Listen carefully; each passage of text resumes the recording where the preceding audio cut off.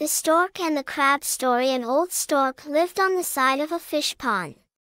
He was too old to fish any longer, and he had to come up with an idea for food. Suddenly, he had a great idea. He stood in the water with a sad face. A crab came up to him and asked him why he was so unhappy.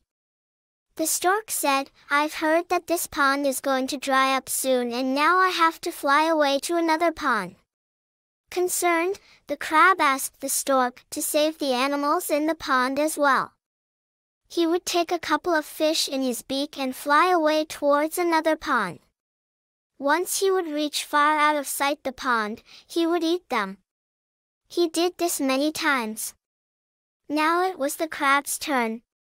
As they were flying the crab looked down but could not see a pond however he saw a lot of fish bones.